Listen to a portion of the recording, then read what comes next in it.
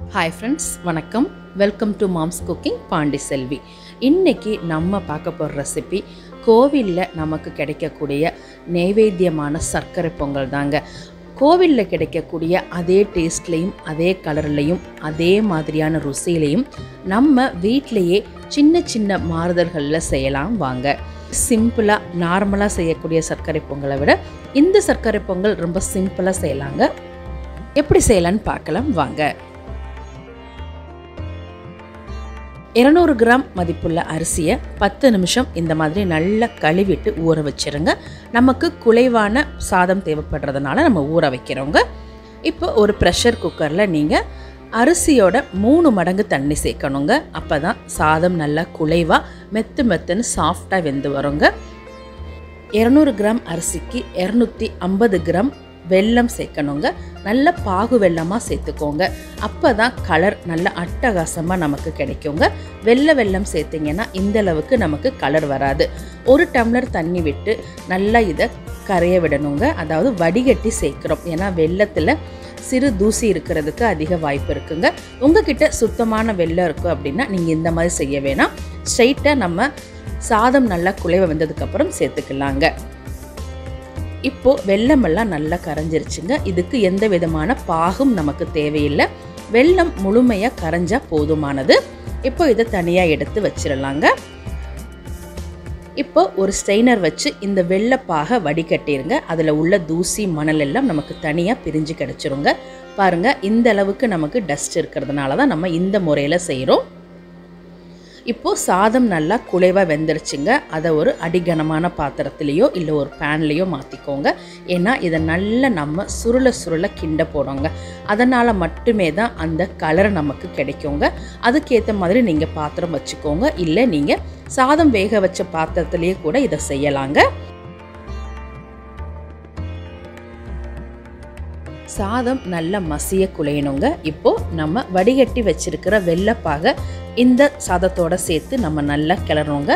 இந்த நேரத்தில் நீங்கள் ஸ்டவ்வை ரொம்ப லோ ஃப்ளேமில் வச்சுக்கிட்டீங்க அப்படின்னா கரெக்டாக இருக்குங்க. அதனால தான் நான் அடி கனமான பாத்திரமாக எடுத்துக்கோங்கன்னு சொன்னேன். நீங்கள் குக்கர்லேயே கூட செய்கிறதுனா தாராளமாக செய்யலாங்க. உங்களோட குவான்டிட்டியை பொறுத்து நீங்கள் பாத்திரத்தை மாற்றிக்கோங்க இப்போது மீடியம் ஃப்ளேமில் வச்சு நல்லா இதை கிளறி கொடுக்கணுங்க. அந்த பாகுலேருந்து நமக்கு ஒரு கலர் பிரிஞ்சு வரும். இந்த மாதிரி கலரெல்லாம் பிரிஞ்சு வர அளவுக்கு கிண்டணுங்க. இந்த நேரத்தில் பச்சை ஏலக்காவை நல்லா ஃப்ரெஷ்ஷாக தட்டி சேருங்க. ஏலக்காய் பொடியும் சேர்க்கலாங்க. அதை விட பச்சை ஏலக்காய் தட்டி சேர்க்கும்போது கூடுதலான நமக்கு வாசனையாக இருக்குங்க. முந்திரி திராட்சையை நம்ம நெய்யில் வறுத்து சேர்த்துடலாங்க தேவையான அளவு நெய் சேர்த்துக்கோங்க. கொஞ்சம் கூடுதலாகவே சேர்த்துக்கோங்க.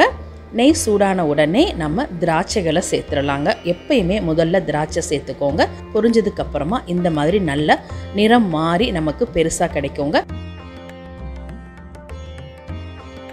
அதுக்கப்புறமா உடச்சி வச்சுருக்கிற முந்திரி பருப்பை சேர்த்துக்கோங்க. முழுமையாக சேர்க்க பிடிக்கும் அப்படிங்கிறவங்க அதே மாதிரி சேர்த்துக்கோங்க. முந்திரி பருப்பு கருகிடாமல் பார்த்துக்கோங்க. மிதமான சூட்லேயே முந்திரி திராட்சையும் வறுத்தோம் அப்படின்னா கரெக்டாக இருக்குங்க. இந்த வறுத்த முந்திரி திராட்சையை நம்ம அந்த பொங்கலில் சேர்த்தா சரியாக இருக்குங்க. இந்த பொங்கலுக்கு கொஞ்சம் நெய் கூடுதலாக விட்டோம் அப்படின்னா நமக்கு கூடுதல் சுவையில் கிடைக்குங்க. இந்த மாதிரி நல்ல சிம்மிலேயே வச்சு இந்த சர்க்கரை பொங்கலை கிளறி கொடுத்துக்கிட்டே இருக்கணுங்க. நீங்கள் எடுத்த உடனே ஃப்ளேமை ஆஃப் பண்ணிட வேணாம். எந்த அளவுக்கு நீங்கள் சிம்மிலேயே வைக்கிறீங்களோ அந்த அளவுக்கு நல்லா நிறம் மாறி வருங்க. இதில் கோயிலில் சேர்க்கக்கூடிய பச்சை கற்பூரத்தை ஒரே ஒரு இன்ச் இந்த மாதிரி நுணுக்கி சேர்க்கணுங்க. அதிகமாக சேர்த்துறாதீங்க. இப்போது மேலே ஒன்றுலேருந்து ரெண்டு டேபிள் ஸ்பூன் அளவுக்கு சுத்தமான பசுனை சேர்த்தீங்க அப்படின்னா கோவிலில் அதுவும் பெருமாள் கோயிலில் கிடைக்கக்கூடிய அதே டேஸ்ட்டில் அதே மணத்தில் அதே கலரில் நம்மளும் வீட்டிலையே ரொம்ப சிம்பிளாக எளிமையாக செஞ்சிடலாங்க. ரொம்பவே தித்திக்கிற சுவையில் டேஸ்டான சர்க்கரை பொங்கல் அதுவும் கோயில் டேஸ்ட்டில் கிடைக்கக்கூடிய சர்க்கரை பொங்கல் வீட்டிலையே ரெடி பண்ணிடலாங்க. நீங்களும் மறக்காமல் இதே மாதிரி ஒரு முறை ட்ரை பண்ணி பாருங்கள் கண்டிப்பாக அதே டேஸ்ட்டில் நம்ம வீட்லேயும் செய்ய முடியுங்க. என்னோடய வீடியோ பிடிச்சிருந்தா மறக்காமல் வீடியோவுக்கு ஒரு லைக் கொடுங்க. நம்ம சேனலை சப்ஸ்கிரைப் பண்ணாமல் பார்க்குறவங்க சப்ஸ்கிரைப் பண்ணிவிட்டு பாருங்கள் இந்த வீடியோ உங்கள் எல்லாருக்கும் பயனுள்ளதாக இருக்குதுன்னு நினச்சிங்கன்னா உங்கள் ஃப்ரெண்ட்ஸ் எல்லாருக்கும் ஷேர் பண்ணிவிடுங்க இன்ஸ்டாகிராம் ஃபேஸ்புக் பேஜில் ஃபாலோ பண்ணாதவங்க ஃபாலோ பண்ணிக்கோங்க. கீழே டிஸ்கிரிப்ஷனில் லிங்க் கொடுத்துருக்கேன். தேங்க்யூ ஃபார் வாட்சிங் மாம்ஸ் குக்கிங் பாண்டி செல்வி